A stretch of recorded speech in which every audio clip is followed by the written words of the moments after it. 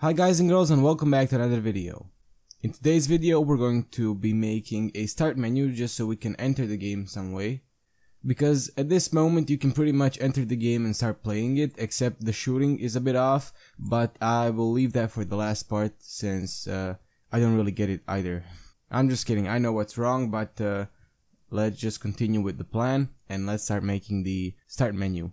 You can make a new scene for the start menu, but I will do it in the same scene and then I will just program a bit later just so I make it uh, so, so it actually works so it doesn't start the game while you're at the start menu. And I really like the scene here so I think that will work pretty well. I was thinking maybe putting it some something like here and then having the start menu on the right side.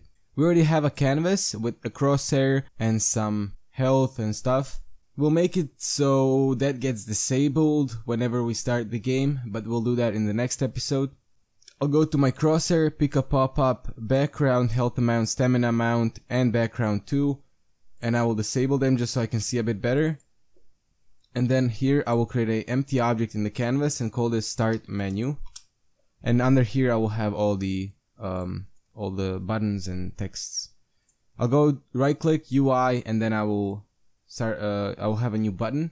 And this button I will well I won't rename it. I'll just go to text and say start uh, start game. And you can change the font. I'll set mine to 24 and you can change the size and everything that you like.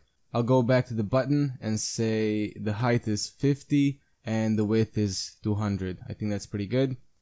And I will also change the color of the button so it's a bit darker like this and I will go to the text and set the text color to white.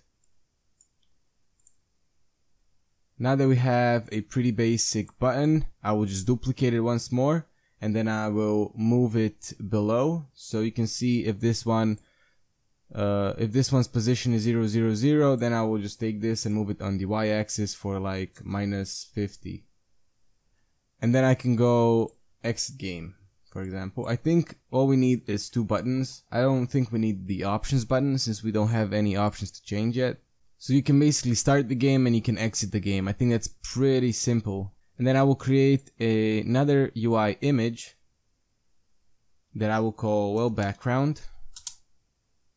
And then I will change the color to a darker gray and then I'll change the alpha to around 200 and make sure in the hierarchy here you place it above the buttons so it's behind them.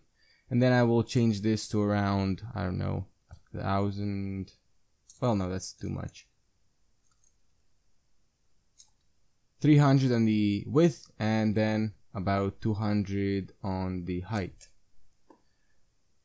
Under the background you can create another text element that will I will rename it to title and then I will give it here like FPS game in Unity.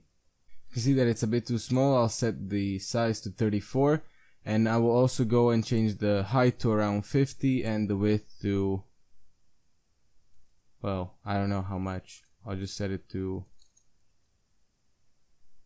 500 then and I will change the color to white as with all the text. You can change your font, I will not because uh, well, I like it like this and then I will change the width of the background to around 350 just so the title fits. Right now if you play the game you will have this UI but you won't be able to click it because we'll do the programming in the next episode. Later on once we add the sound we can also add some UI elements to, uh, to be able to uh, enable and disable the sound. But as I said this is a pretty simple episode we don't have too much to do we just need to do this. Next time should be easy also. We'll just uh, start using these on-click uh, functions right here. But for now, I think this is pretty good and hopefully uh, you enjoyed this. Hopefully, well, you learned something new and uh, you can go follow me on my social media and um, hopefully I'll see you next time. Bye bye.